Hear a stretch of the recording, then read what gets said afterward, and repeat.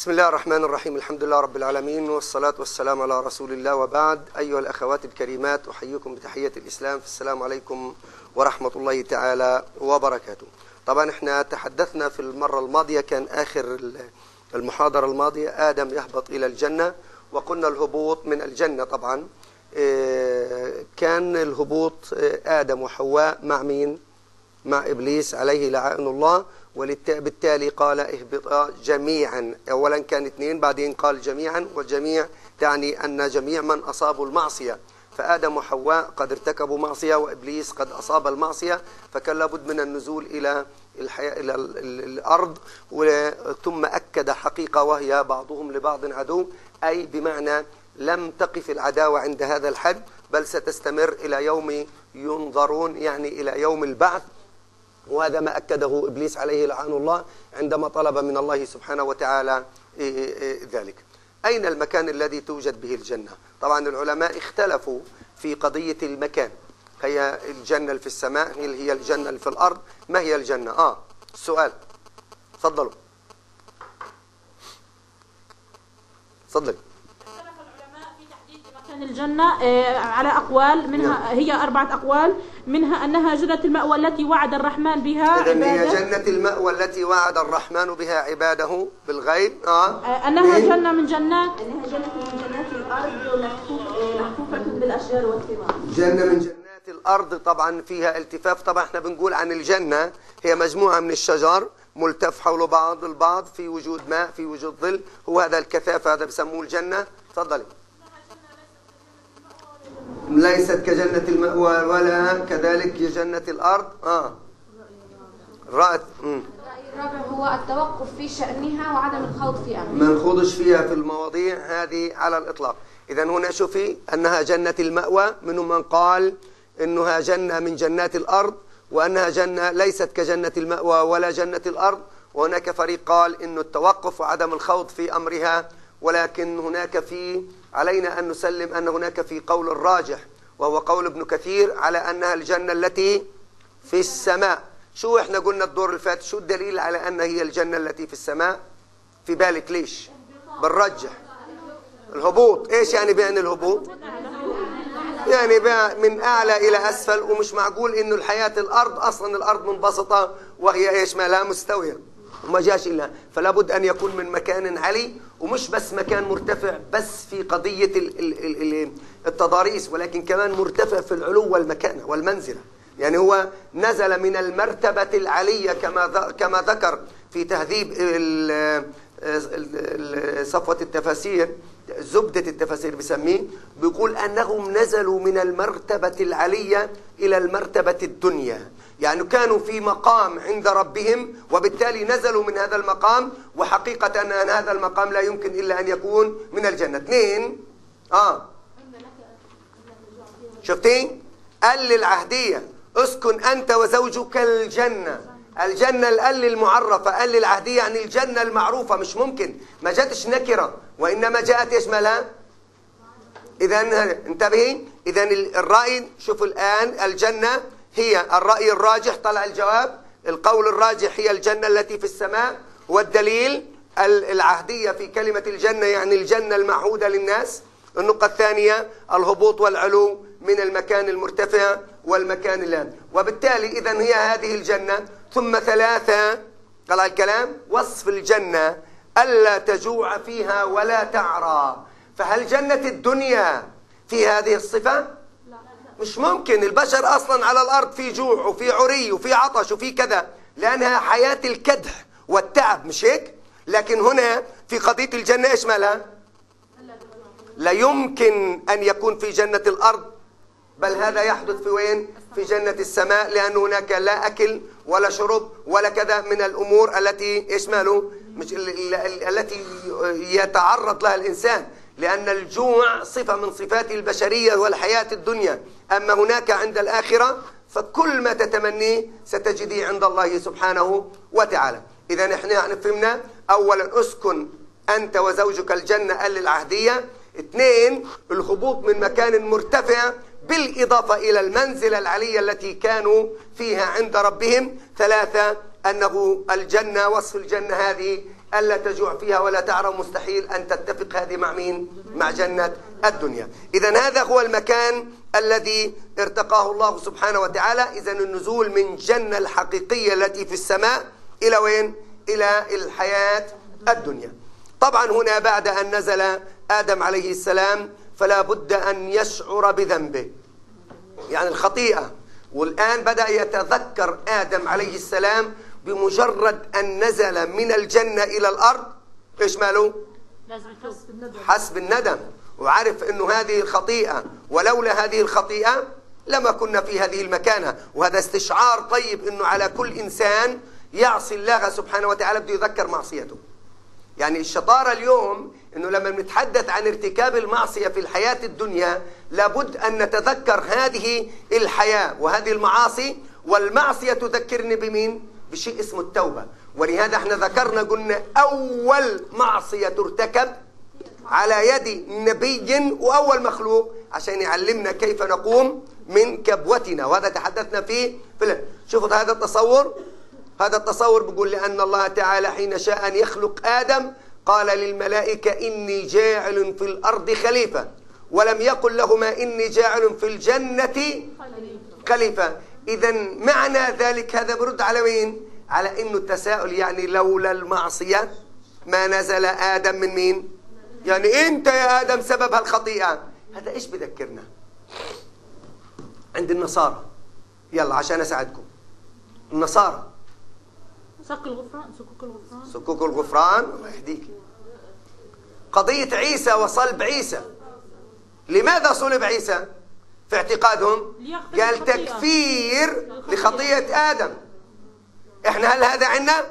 مستحيل. لا تزر وزرة لا تزر وازرة وزر أخرى. يعني كل إنسان يحاسب على عمله ما فيش عندنا إحنا. والله آدم ارتكب معصية إحنا الآن مص... لا لا لا. أولا سواء آدم عليه السلام أصاب معصية أو لم يصب فنزول الإنسان إلى الأرض هذا مسألة حتما مقدرة بقدر من الله لأن الله تعالى عندما نفخ فيه قال إني جعل في الأرض خليفة يعني أنا خالقه عشان ينزل يعمر الأرض. ولهذا علم آدم الأسماء وعودوا مرنوا على إيه؟ على أساس كيف يعيش ويتعامل مع طبيعة الأرض. إذا المسألة مش مربوطة بقضية معصية ولا كذلك إنه إحنا نازلين على اللي هو الأرض نتيجة الآثام أو المعاصي التي ارتكبها الآخرون وفي مقدمتهم آدم عليه السلام. لأن آدم عليه السلام اجتباه ربه. بعد ذلك وأصبح نبي. يعني مستحيل أنه هذا الكلام اللي إحنا بنشوفه في هذا الموضوع. لكن علينا أن نفهم أنه لم يكن هبوط آدم إلى الأرض هبوط إهانة. طلعي وإنما كان هبوط كرامة كما يقول العارفون بالله هبوط كرامة. كان الله تعالى يعلم أن آدم وحواء سيأكلان من الشجرة ويهبطان من الأرض بعلمه الأزلي. إذا هذا مستحيل أن يقال على الله سبحانه وتعالى. ثم بعد ذلك طلعين أما تجربة السكن في الجنة فكانت ركنا من أركان الخلافة في الأرض. هذا تكتبيش يعني هذا هتاخذيه يعني هتلاقي كله تلاقيه موجود. الآن التجربة في السكن في الجنة كانت إيش؟ ركن من أركان الخلافة كان عمال بيتدرب كيف بده يتعايش مع زوجته حواء. وكذلك الآن الصراع بينه وبين إبليس اللي بده يعيش معاه ويعمر معاه طويل في الأرض. قال له تعال أعطيك تجربة من تجارب إبليس عشان تعرف إنه إيش ماله هذا؟ هذا عدوك اللدود. يعني لا يمكن على الإطلاق إنه نتصادق. وإحنا اليوم بناتنا كثير بدها تطرق لنقطة مهمة جدا. يعني صار إحنا مكاتبنا بدل ما هي لطالبات المراجعة في المادة ولا بدها تراجع في إشي كل يوم طالبات بالعشرات جايات عشان الجن والسحر. اللي مسحورة واللي معمول لها عمل واللي ما تجوزتش واللي ما نجحتش في المادة واللي أبصرش والكلام هذا أنا بقولش إنه بننكر هذا الموضوع لكن أنا بديش أخلي طالبات الجامعة الإسلامية تبقى تتشبث بالخرافات. أو والله يتحدد كل مستقبلها على رؤية من من من من الرؤى التي رأتها أو لكلام فارغ من اللي هم النساء الجاهلات والأمة كبار كبيرات السن اللواتي لا يعرفن عن العقيدة شيء. يعني أنت لازم تعلمي أمك وستك وغيره. مش هي اللي تقول لك والله معمول لك عمل وجاي آه طالبة بدها تتجوز. شو شو أسوي لك بدك تتجوزي؟ قال أنا معمول لي عمل أجوني خطاب وعشرة وابصرش وما غادي. هذا الكلام يا بناتنا الله يرضى عليكم. الله يرضى عليكم هذه أمور بيد الله. ولا لها دخل بالجن. وبعدين بتقول لك آه أنا ما هو الجن اللي ركبني؟ جن مؤمن. وفي جن مؤمن بيأذي الإنسان؟ الجن المؤمن لا يؤذي الإنسان. هو بمجرد إنه الشيطان اولا تلبس أو أصاب أو مس من هذا الكلام والمصطلحات الموجودة في عالم الجن اللي إحنا بنؤمن فيها معنى ذلك أنه إيش ماله؟ مؤذي. معناته كافر الله يفتح عليك. يعني الجن المؤمن لا يمكن أن يؤذي الإنسان لأنه بمجرد أن يمسه يعني اذاه وهذا لا يقبله الإنسان المؤمن. لهذا إحنا بنقول الآن الجنة وطرد الشياطين العداوة بيننا ولا يمكن نتصاحب إحنا وياه. وبعدين تيجي واحدة كمان حتى في قضية إنه بتقول لك أنا مخاوية ولا متزوجة جن ولا غيره. حقيقة يعني؟ عارفين إيش معناته؟ لو ثبت حقيقة أن طلع أنه يجوز جواز أو زواج عفوا زواج الجن من الإنس. عارفين إيش معناته؟ معناته كل مرتكبات الرذيلة والفساد بصير حجه انها متجوزة جن حملت من جن. يجوز؟ بجوز يا بنات مش ممكن. يعني عالم غريب يعني ممكن نشوف عالم الطير بده يتكاثر من عالم الحيوان نجيب يعني مثلا ذكر أعزكم الله من الحيوانات ونجيبها على الطير وبعدين نقول والله بده ينجب الطير منها أو العكس. كذلك لا يمكن البشر والجن. فهمتوا ليش أنا تكلمت عن هذه النقطة؟ لأنه مسألة خطيرة. بتقول لك إنه أنا يعني بعض الأخوات بتتكلم بتقول إني حتى عند قضية الزوج وغيره تشعر إنه بتدخل قضية الجن في الموضوع. بقول لك هذا مستحيل. هذا تخيل. وإما نتيجة ضعف الإيمان وهذا بده قوة إيمان. يعني طالباتنا الجامعة شو اللي شو بينقصك أنت؟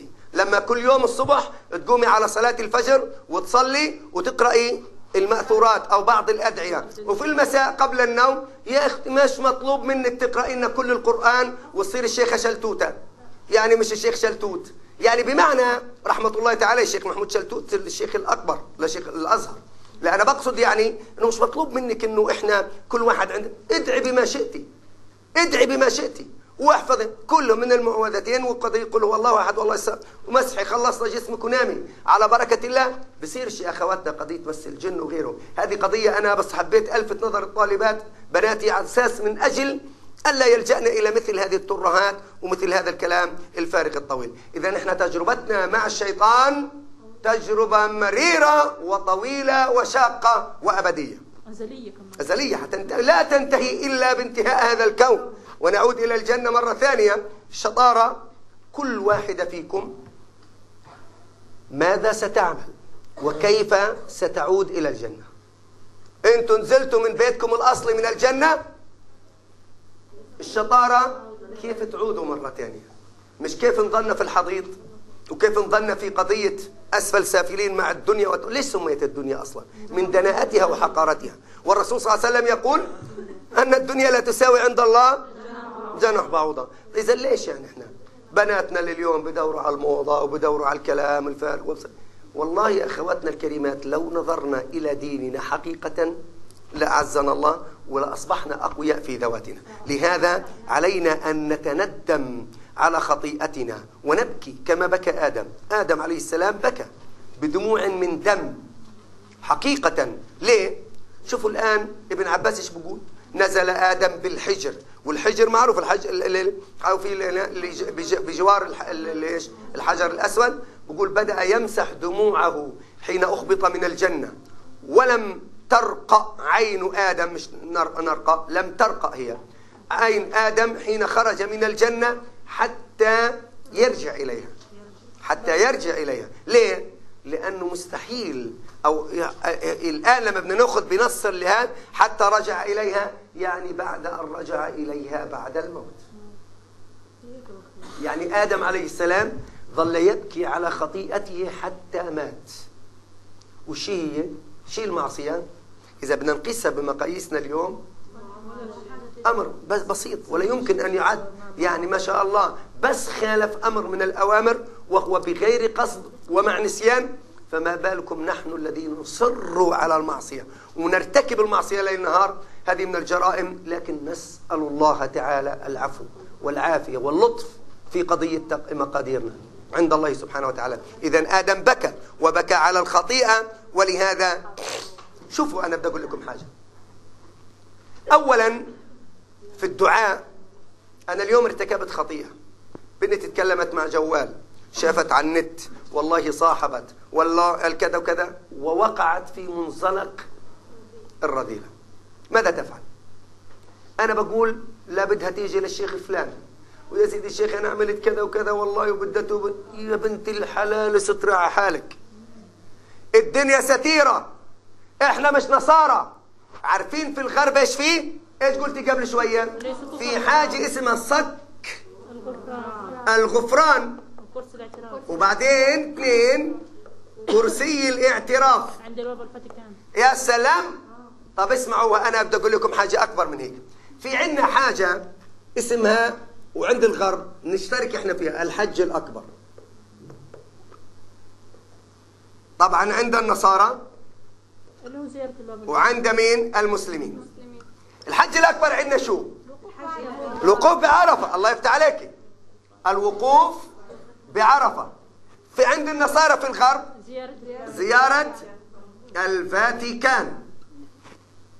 مقر النصارى. شو بصير عند النصارى؟ لما بيروحوا زيارة بحجوا. الحج الأكبر عندنا الطهارة النقاء التوبة. لما بروح للحج أولا بتحلل من الحرام برد المظالم إلى أهلها. مظبوط؟ وبعدين باخذ المال الحلال والزاد الحلال والدابة الحلال ولا مشيت كله قاعدين أنا بت... بكون حريص طهارة قبل أن أدخل في وأتلبس في العبادة وهي قضية الحج. ولما هناك بدخل الميقات بروح بتغسل وبتطيب من كل شيء وبعدين ببدأ النية إنه يا رب أنا رميت كل الدنيا ورا ظهري ولبست هذا الكفن. القطعتين اللي بيلبسوها الرجال القطعة البيضاء الإزار والرداء بدون ولا شيء. بذكرني بيوم الموت بيوم القيامة وإني أنا عمال رايح إلى بلا عودة. معناته القصد إلى بيت الله للعبادة وقد رميت الدنيا خلفي. هذا الحج الأكبر عندنا. عندهم لا. الحج الأكبر بيروحوا للفاتيكان وبيقعدوا في الصلاة بيطفوا الأضواء إلا الأنوار الخافتة الحمراء. رجال ونساء خلط. الرجال مع رجال ونساء مع نساء ورجال مع كله يمارسوا الشذوذ يمارسوا الفاحشة. وبعد ذلك بصفوا بالدور على كرسي الاعتراف. بقعد على الكرسي بينه وبين القسيس. حاجز شباك وبعدين إيش بيسوي؟ بيقول له أنا سويت وعملت وعملت. طب ما هو ناقص. قبل شوي كان بتطلع على الرذيلة بيمارسوا الرذيلة في مكان العبادة. لأن النصارى أفلسوا. اللي إحنا اليوم متمسكين بالغرب. أفلسوا روحانيا ودينيا. علاش متمسكين بالغرب؟ وعلاش خايفين من الغرب؟ خواء روحي. بيعترف؟ وبقول أنا زنيت وعملت وسويت وبعد هيك بقول له طيب أنت الآن مغفور لك تفضل هيسك الغفران. أنت مغفور لك من يملك؟ عندنا في كل المسلمين. لا نبي ولا صالح ولا ولي يملك أن يعفو عن فلان أو علان. العفو من الله. يعني بمعنى هل يجوز إني أنا أقول بحق الأنبياء بحق الصالحين بحق الأولياء يا رب ادخلني الجنة ويجي شيخ يعطيني صك لدخول الجنة من يملك؟ طلع الخرافة عند الغرب. قال اعطاه صك الغفران فدخل الجنة. الله أكبر. دخل الجنة والحين قاعد بيرتكب الفاحشة والمعصية. وراح أنا يا بنات لما بتوب على طول بقول يا رب انت بترفعي اكف الضراعة ما فيش حاجز بينك وبين فيش واسطة. اذا انتبهي ليش أنا تكلمت هذا؟ اذا بكاء آدم والتوبة إلى ربه ما كان واسطة. ونحن كذلك إن كمسلمين منهج حياة سنة عن الرسول صلى الله عليه وسلم أن الإنسان المسلم إذا ما تاب عليه أن يقف بين يدي الله دون واسطة دون حجاب دون ترجمان بينك وبين ربك. يا رب ابكي. شوفي تعال عليك أن تبكي على خطيئتك. في الليل وتقفي بين يدي الله ركعتين. شو هتعملي؟ هنا الدموع الساخنة. دون رياء دون مراقبة من أحد. هذا الذي نرجوه من الإخوة والأخوات الذين يتعبدون إلى الله دون أن يكون هناك واسطة. شفتوا الفرق بيننا وبين الغرب؟ مستحيل أن نجتمع نحن وإياهم على رؤية. ديننا بدوش واسطات عندهم بدهم واسطات. ولهذا إذا التوبة هنا لا واسطة في بين وبين بين الله وبين البشر. لا وجود لإنسان بمفرده أن يتحمل الخطيئة. سجلي عندك هذه النقاط. واحد لا وجود لواسطة بين الله وبين البشر. اثنين لا وجود لإنسان بمفرده أن يتحمل عن البشر خطاياهم. يعني ممكن آدم بده يرتكب جريمة زي ما النصارى بيقولوا عيسى بده يكفر عن خطية آدم؟ مستحيل. ثلاثة خطأ آدم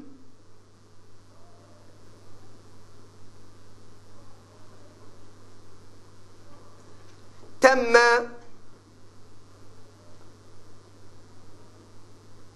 طويه يعني انتهى آه انطوت. مرحلة وانتهت. يعني مش معقول إنه الخطأ اللي ارتكبه آدم ظل مستمر انتهى. أما الأخطاء التي يرتكبها المخلوقات أو ترتكبها المخلوقات فالله تعالى سيعاقبه عليها. وقتيش إن أصر على عليها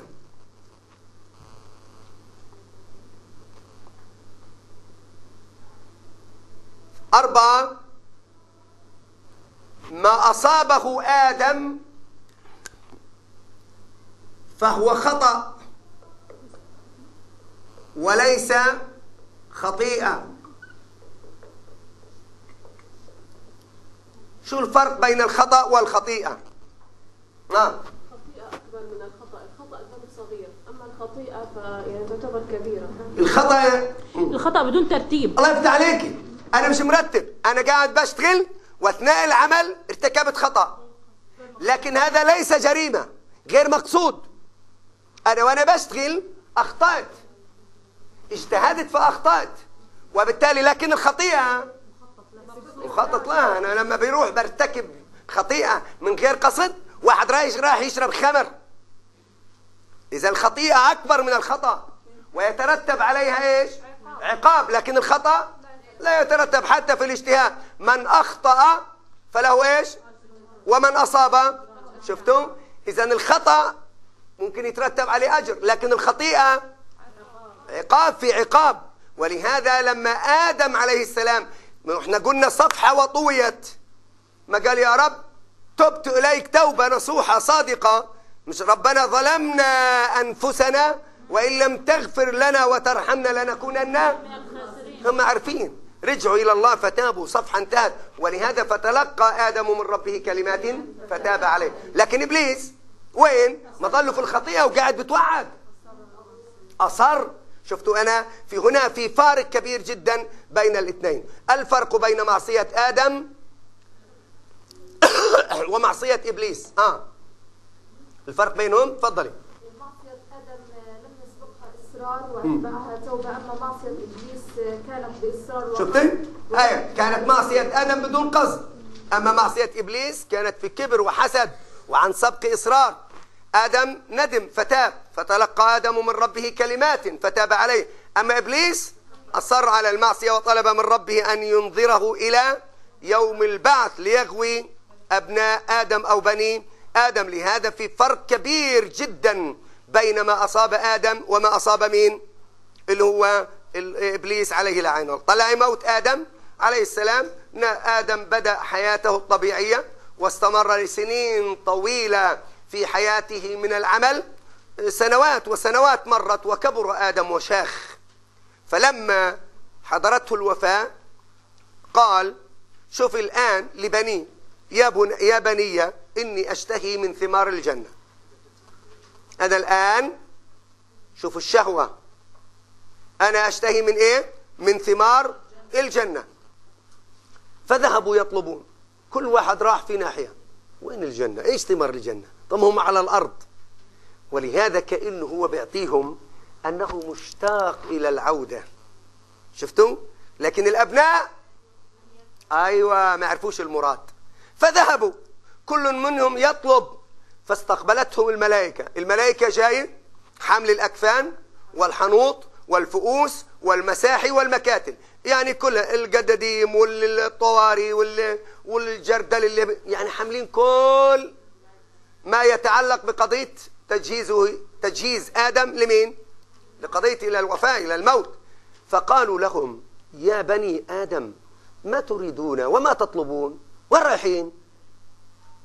أو ما تريدون وأين تطلبون؟ فقالوا أبونا مريض واشتهى من ثمار الجنة. فقالوا لهم ارجعوا فقد قضى أبوكم. مات. انتهى. الأجل. وانقطع عهده بالحياة. فجاءوا فلما طلع رأتهم حواء. عرفتهم عرفت الملائكة. فلاذت بآدم. لجأت إلى آدم. فقال إليك عني فإني إنما أوتيت من قبلك. الحين جاي كمان عند الموت عند النزع الأخير. فخلي بيني وبين ملائكة ربي عز وجل. فقبضوه وغسلوه وكفلوه وحنطوه وحفروا له ولحدوه وصلوا عليه. شو هذه؟ وادخلوه في القبر. هذه سنن إيش؟ سنن الموت. يعني بمعنى طلع السنن الموت. مهم جدا إنه نفهم من هنا بدأت بعد موت آدم بدأ الخلق. أيوه اللي هو بني آدم عرفوا كيف يتعاملوا مع موتاهم.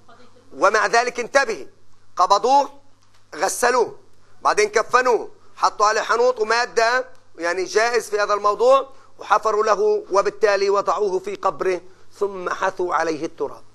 ثم قالوا يا بني آدم هذه سنتكم. طبعا أخرجه الحاكم وقال صحيح ووافقه الذهبي وقال ابن كثير إسناده صحيح. شوفوا الآن في قضية آدم عليه السلام وآدم وهو يتلقى مثل هذه القضايا. آدم بيقول إنه حدثت محاجة بينه وبين موسى عليه السلام. فيش قال موسى؟ شوفوا الآن موسى عليه السلام قال له أنت الذي أخرجت الناس بذنبك من الجنة. صفحة 28 طبعا. أنت اللي أخرجت مين؟ الناس. وأشقيتهم. أنت سبب الشقاء. إيش كان الرد من آدم؟ قال أنت الذي اصطفاك الله برسالاته وكلامه. أتلومني على أمر قد كتبه الله علي قبل أن يخلقني؟ يعني هذا أمر مكتوب منذ الأزل في كتاب المحفوظ عند الله. أنني سأنزل سآكل من تلك الشجرة وسأنزل إلى الأرض وأعمر الأرض. وأنت قاعد بتحججني بقدر الله؟ إذا هنا أتلومني. طلعي. على أمر قد كتبه الله علي قبل أن يخلقني أو قدره علي قبل أن يخلقني. قال رسول الله صلى الله عليه وسلم فحج آدم موسى. إيش يعني؟ يعني حجته القوية. وبالتالي كان يعني أفهم. يعني بمعنى أن بالفعل أنه لا يمكن أن نستشهد بالقدر على القدر. الآن في فرق الآن في قضية في مسألة مهمة يعني كبيرة جدا. أن يحتج بالقدر اللي هو على شيء. وهناك في فرق بين الآن الإنسان الذي يرتكب المعاصي. واحد أصاب خطيئة. كل أنواعها سواء كانت كبيرة أم صغيرة بدون تفصيل. واجي أقول أنا آه بعلومه. قال هي وأنت بتلومني؟ ما ربنا كاتب علي إني أزني. والله أكبر. أنت بتحتج بالخطيئة على قدر الله؟ يعني طيب أو بعض الناس هيقول إنه أنا ممكن أفعل كذا وكذا وبعدين أتوب. أيوه. هذا إيش بصير؟ بستحايل على الدنيا. إيش قلتي لورا؟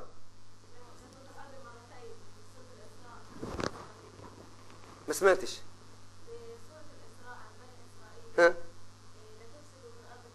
لا دول فساد في الأرض من فساد مرتين. لا لا مش هذا الموضوع. إحنا بعيدين عنه خالص. نتكلم عن قضية إنه اليوم أولادنا بيحتجوا بقدر الله على المعصية. يعني بصير أنا أرتكب المعصية وأقول إنه ربنا كاتب لي.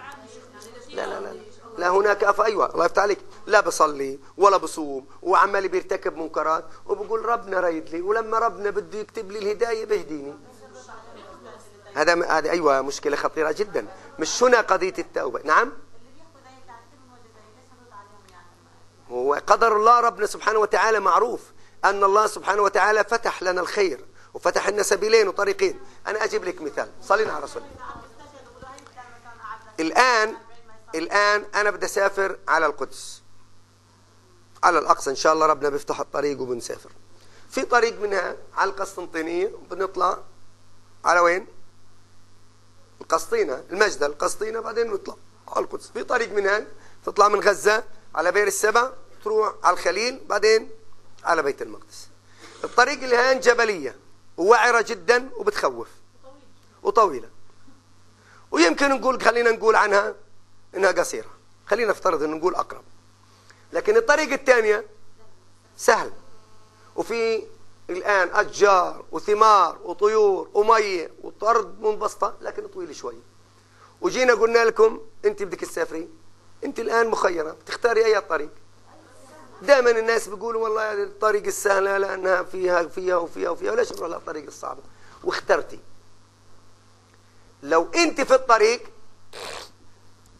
وأنا سواق وسألتيني وأنا طلعت الطريق هنا وأنا قبال المجدل سألتيني بتقولي لي وين الطريق اللي بتودي للقدس قلت لك هيا من هان بس أنا رايح على القدس. تركبي معي؟ بركبك بالسيارة وطلعت. وصلتك بطريقة أسرع. ولله المثل الأعلى. طريق الجنة معروف وطريق النار معروف. وقال لك طريق الجنة حفت بالمكان طريق ال ال النار الشهوات والملذات وانت اخترتي. الآن انت اخترتي لكن لو واحدة اخترت اختارت طريق الصلاح وطريق الجنة وهي في الطريق ماشية الآن دخلت في طريق الخير إيش ربنا بيسوي؟ سهل الله تعالى لها الأمر. ركبها ووصلها بسرعة. يسر لها الأمور. وهكذا. إحنا بنقول إنه على الإنسان أن يختار وأنت ستحاسب على الاختيار. لأنه إنك عقل تميز بين هذا وبين ذاك. عشان هيك تيجي تقول لي معصية؟ في حدا عارف إنه والله ترك الصلاة مش حرام؟ في حدا عارف إنه مثلا الخمر والزنا مش حرام؟ ومع ذلك بيرتكبوا. وبقول لك هو يحتج هو عارف حاله إنه أكثر الناس في منزلق الفجور والمعصية. لكن هذا نسمعه من كلام من ناس كثير. وأنا بديش أظن أقول القرآن والقرآن أنا عمال ضربت مثل. هذا المثل الرائع جدا. قرأته لكن للطنطاوي الشيخ علي الطنطاوي حفظه الله ورعاه وهو عالم سوري صاحب كتاب تعريف عام بدين المسلم الإسلام. هذا الكتاب يعني من أروع الكتب لأن الراجل كان يساري كان صاحب فكر ماركسي فهداه الله تعالى إلى الإسلام فكتب قصة هداية له في علمه وهو بتناقش مع المسلمين كان بتناقش بالمنطق العقلي وهو القريب لكثير من شبابنا اليوم وشاباتنا ولهذا بيتكلم بمنطق. أما هذا الإنسان اللي قال لك أنا والله ما هو ربنا كاتب لي وبعدين كافر من الأزل أنا بدي أقول لك حاجة. وربنا عارف؟ آه عارف. أجيب لك مثال. تصور إني أنا مهندس وأنت بدك تبني بيت. لما باجي برسم الخريطة إيش بقول لك؟ كم طابق بدك تبني؟ بتقولي أربع طوابق. لأنه إحنا يا عمي ما فيش عندنا أسانسيرات وآخر حاجة أربع طوابق يا دوب نطلع. ماشي الحال. إيش أنا بعمل كمهندس؟ بروح بصمم الخارطة. الأساس هنا الأعمدة والآن بدل ما أعمل واحد اثنين ثلاثة أربعة. واحد اثنين ثلاثة أربعة. سويت لك أربع طوابق ومية المية. يوم من الأيام أنت دخلتي علي المكتب وقاعدة بالسرخي وأنت كذا البناية انهدمت. بقول لك أنتوا بنيتوا طابق سادس؟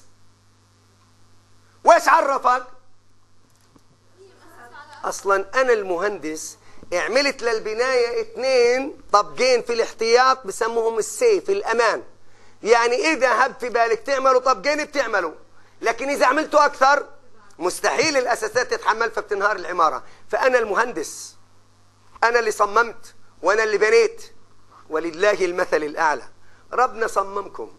وربنا اللي خلقكم وحط فيكم كل الإمكانيات لو هو ضمن علمه الأزلي إذا هذا الإنسان عمل عمل أكبر من حجمه حيصير معه واحد اثنين ثلاثة شفتوا؟ يعني إحنا في عنا أشياء يعني مستحيل ولهذا دائما حتى الفقر والغنى إنسان لا يصلح لوجهه إلا الفقر ليش؟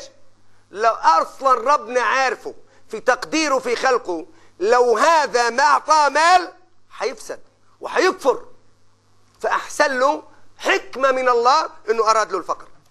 فلان بيصلحش له إلا الغنى لأنه لو تعرض إلى الجوع لو تعرض إلى الفقر بده يكفر لأنه إيش ماله؟ مش قادر يتحمل.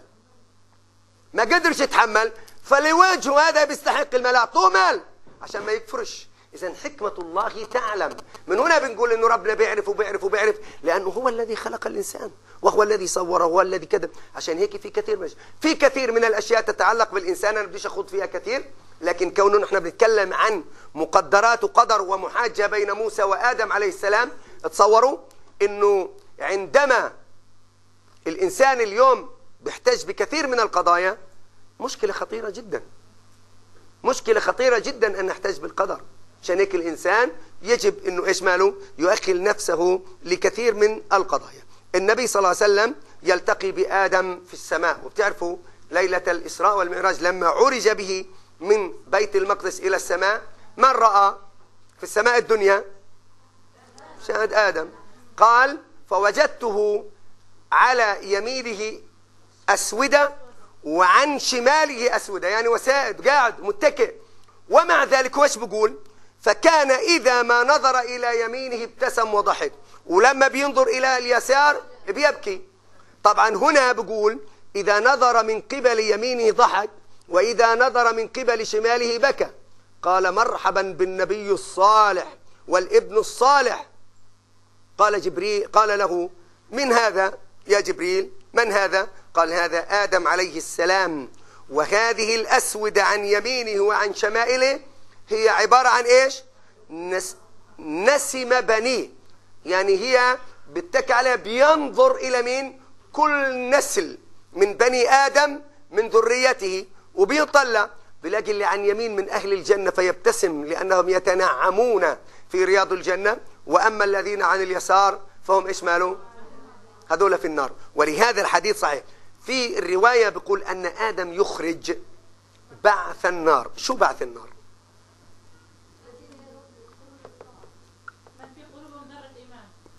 الآن بعث النار آدم عليه السلام يوم القيامة أول ما يدعى يوم القيامة آدم عليه السلام من البشر وتتراءى له ذريته كل ذرية آدم الصالح والطالح. فيقول هذا أبوكم آدم. فيقول لبيك يا رب وسعديك. فيقول أخرج بعث جهنم من ذريتك. فقل يا رب كم أخرج؟ قال أخرج من كل مئة تسعة وتسعين. الله أكبر. من كل مية بده يطلع تسعة وتسعين لوين؟ للنار لجهنم. يعني قديش حيظل؟ واحد في المية شفتوا؟ يعني بعث النار تسعة وتسعين من بني آدم إلى النار وواحد إلى الجنة. فقالوا يا رسول الله إذا أخذ منا من كل مئة تسعا وتسعون ماذا بقي منا؟ قديش يعني حيظل؟ خطاب. هذا طبعا الصحابة اللي قاعدين مع الرسول. قال إن أمتي في الأمم كالشعرة البيضاء في الثور الأسود. يعني قلال. يعني شوفوا الثور ولما يكون نقطة بيضاء. شفتوا قديش؟ هذا هو الكم في المؤمنين. فإحنا بنغترش بكثير وإن أكثرهم لفاسقون وإن أكثرهم معروف يعني بمعنى أن أكثر العباد هم الذين فسقوا. لهذا علينا أن نعلم أن هذا آدم عليه السلام أول ما يبعث لكن هنا المقام اللي عليه دخول الناس الجنة. ربنا بيطمنا على لسان النبي صلى الله عليه وسلم بيقول إنه كلكم حتى تدخلوا الجنة. طبعا أول زمرة يدخلون الجنة على صورة القمر ليلة البدر. يلا كيفه؟ والذين يلونهم على أشد كوكب دري في السماء إضاءة. طالعين لا يبولون لا يتغوطون لا يتمخطون لا يدفلون أمشاطهم الذهب رشحهم المسك مجامرهم الألوى يعني البخور والمسك. وأزواجهم الحور العين وأخلاقهم على خلق رجل واحد على صورة أبيهم آدم ستون ذراعا في السماء. يا رب وعدنا يا رب. قولوا آمين. شفتوا شفتوا الكرم من الله سبحانه وتعالى؟ هؤلاء الفئة التي تم اختيارهم واصطفاؤهم من كل مية واحد. شفتوا المشكلة الخطيرة من كل مئة واحد. بدخل الجنة هذا مآلهم وبالتالي إذا آدم عليه السلام بعد هذا التفاؤل العظيم انتهى أجله. وكما قلنا أنه قضية الموت. الآن السؤال الأخير أنهي به هذه المحاضرة. ما هي الدروس والعبر من قصة آدم. يلا بسرعة عشان ننهي. أن الإنسان بشر يخطئ ويصيب أحيانا ولكن ال- الإنسان بشر يخطئ ويصيب لكن لكن لابد من الرجوع يفتح عليك. يعني ما يصرش على المعصية. شطارة في الإنسان مش يخطئ كنا بنخطئ لكن المسألة المهمة كيف يقوم من خب من من خطأه آه تفضل. الأنبياء غير معصومين من الخطأ. الأنبياء غير معصومين من الخطأ. وهذا آدم بعد أن أخطأ فاجتباه ربه. نعم صحيح. آه ثلاثة. مهمة آدم عليه السلام في الأرض هي طاعة الله سبحانه وتعالى. مهمة آدم طاعة الله. والحكم بين الناس بالعدل وإقامة الخلافة. ننتبه في قضية مهمة آدم أولا قصة آدم تعطينا مفهوم الانطلاقة الأولى للمسلمين؟ انطلاقة تكتب عندك هذه مش موجودة؟ انطلاقة الفكر والمبدأ. يا ريت تسطريها انطلاقة آدم هي المحطة الأولى في حياة المسلمين في الفكر والعقيدة. هذا واحد. اثنين تعمير الأرض حضاريا بما يليق بالإنسان. انتبه. أولا آدم نزل.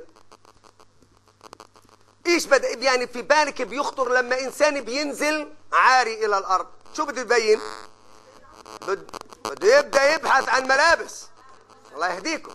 يعني حتى تستر عورته وبالتالي تقيه كذلك من حر الصيف وإيش؟ وبرد الشتاء. كذلك بده يبحث عن مأوى مكان ينام فيه بيت. ولهذا بدأ يتفنن في قضية البناء في الجبال والنحت ويبحث عن أماكن. وهذا هذا تعمير حضاري. ثم بعد ذلك بدأ يبحث عن طبيعة الطعام الشراب الفواكه وغيرها من الأمور. فبدأ يزرع الأرض. ولا مش هيك؟ بدأ الآن يتعامل مع تعمير الأرض حضاريا. هذا ما يجب أن نفكر به أن الإنسان وظيفته تعمير الأرض مش وجدنا أرض قاحلة. لهذا في شيء عندنا في الإسلام عارفين إيش اسمه؟ اسمه إحياء الأرض الموات. إيش يعني إحياء الأرض الموات؟ البوار طيب شو اسمها شو من إيش بتسويها شو بتعرف عنها؟ الخليفة بيكون عنده أراضي واسعة جدا. بيطلقها للمزارعين. قد إيش أنتم بدكم دلي 100 دلم 1000 دلم 1000 فدان 1000 كذا. بيعطي للفلاح حسب قدرته على زراعتها. وبقول له أنت بعد ما تخليها أرض خضراء إحنا بناخذ من الخرج ناخذ منك من المربح بس. أما إحنا ناخذ من لا لا ألو... السبب الأساسي إنه إعمار الأرض. اخضرار الأرض. صراعة الأرض. وهذا شيء عشان هيك إسلامنا إسلام الحضارة. طيب أما قضية الفكر شوفوا أول فكر لتصحيح مفاهيم عند الناس وهو آدم عليه السلام وصحح المفاهيم خاصة بين بين أبنائه في البداية وبين مفاهيم أصبحت مفاهيم مغلوطة مع الأيام ومع الحياة. بنكون بهيك يعني نختم. سبحانك اللهم وبحمدك. نشهد أن لا إله إلا أنت. نستغفرك ونتوب إليك. والسلام عليكم ورحمة الله تعالى وبركاته.